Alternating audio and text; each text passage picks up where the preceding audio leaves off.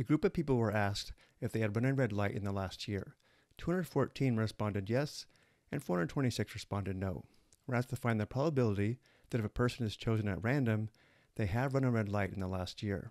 We're asked to give the answer as a simplified fraction, decimal rounded to four decimal places, and as a percent. Recall the probability of an event is equal to the favorable number of outcomes divided by the total number of outcomes. In this case, the total number of outcomes will be the total number of respondents, which is 214 plus 426, which equals 640.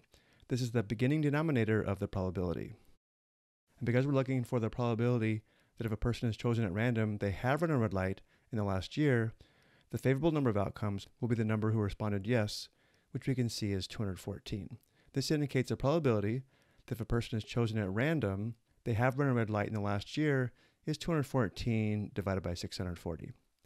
And now let's go ahead and simplify this fraction. The only common factor between 214 and 640 is 2.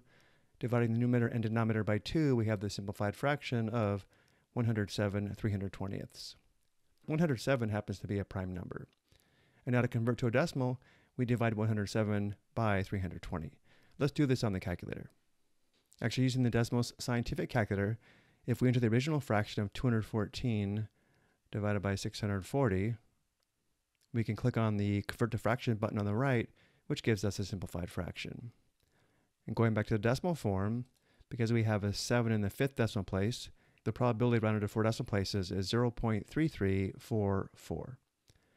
And then recall to convert a decimal to a fraction, we multiply by 100 and add a percent sign, which gives us 33.44%. I hope you found this helpful.